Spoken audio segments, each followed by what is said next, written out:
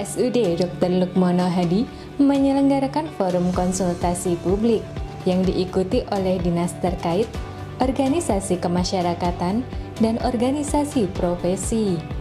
Acara ini sebagai bentuk sosialisasi sekaligus penyerapan keinginan warga masyarakat terkait inovasi dan kebijakan RSUD Dr. Lukmono Hadi untuk meningkatkan kualitas pelayanannya menjadi pelayanan prima yang cepat, tepat, efektif, dan efisien.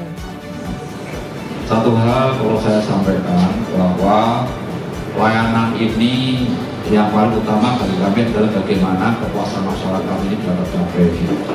Ya, termasuk juga kondisi-kondisi tertentu masyarakat itu butuh sebenarnya ada kunjungan. Ya. Kami ingin menawarkan tentang pelayanan keluarga jadi dari order rumah sakit ya, di mana ini melibatkan semua ya. Masyarakat tentu saja sebagai user ya.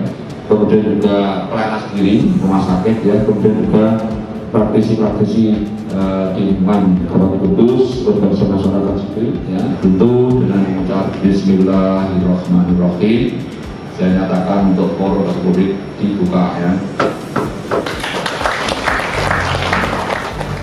Jadi kami ini bukan